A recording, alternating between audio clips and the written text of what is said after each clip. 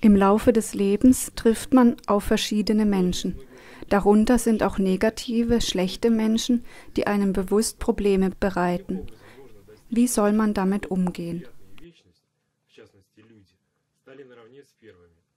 Wenn wir die Frage, wer bin ich, richtig beantworten, wenn wir es uns selbst wirklich in der Praxis vergegenwärtigen, dann sehen wir in jedem Menschen, auch in einem Mistkerl, genauso eine geistige Essenz, ein Teilchen des Absoluten, wie auch in einem selbst. Nur durchläuft dieses Teilchen andere Lehreinheiten. Dazu gibt es eine Geschichte über Ramakrishna, einen Heiligen aus Indien.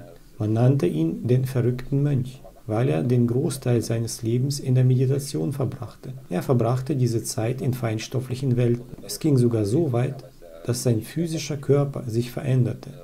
Mal zog er sich zusammen, seine Arme und Beine wurden kürzer, mal dehnte sich sein Körper aus, seine Arme und Beine wurden bis zu fünf Meter lang. Das alles geschah während seiner Meditation.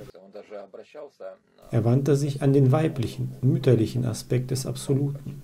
Er verehrte die göttliche Mutter, also den weiblichen Aspekt. Er sagte zum Beispiel, Mutter, lass mich nicht die Ekstase erleben und genießen, lass mich stattdessen den Menschen dienen.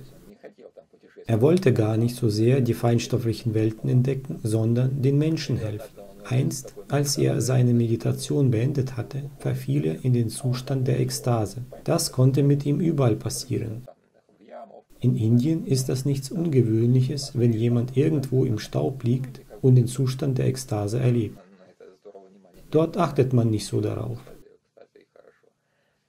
Einmal lag Ramakrishna auf einem Marktplatz in Ekstase und als er wieder zu sich kam, stand eine sehr alte, kranke Prostituierte neben ihm.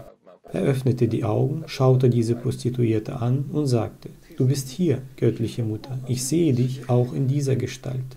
Das ist die richtige Herangehensweise.